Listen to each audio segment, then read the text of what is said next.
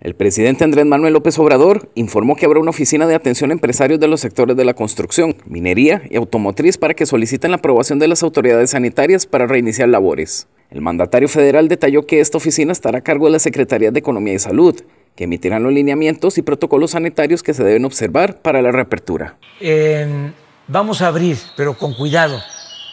Le pido a todas las autoridades locales, a los gobernadores, a los presidentes municipales, a las autoridades de usos y costumbres que nos ayuden, que nos ayuden para que eh, nos eh, cuidemos.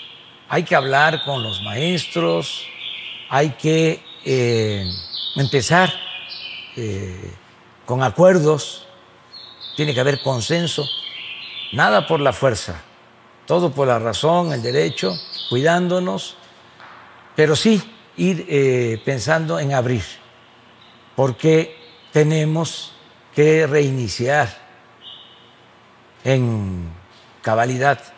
la vida productiva, la vida económica, la vida social, la vida cultural en nuestro país, el regreso a la nueva eh, normalidad.